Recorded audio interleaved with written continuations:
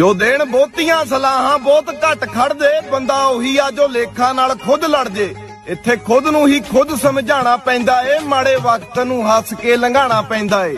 ਖੁਸ਼ੀ ਚਿਹਰੇ ਉੱਤੇ ਦਿਲ ਨੂੰ ਰਵਾਣਾ ਪੈਂਦਾ ਏ, ਤੇ ਜਿਹੜੇ ਕਹਿੰਦੇ ਕਿਸਮਤ ਨਾਲ ਨਾਮ ਬਣਦਾ ਨਾਮ ਬਣਦਾ ਨਹੀਂ ਮਿੱਤਰੋ, ਬਣਾਉਣਾ ਪੈਂਦਾ ਏ।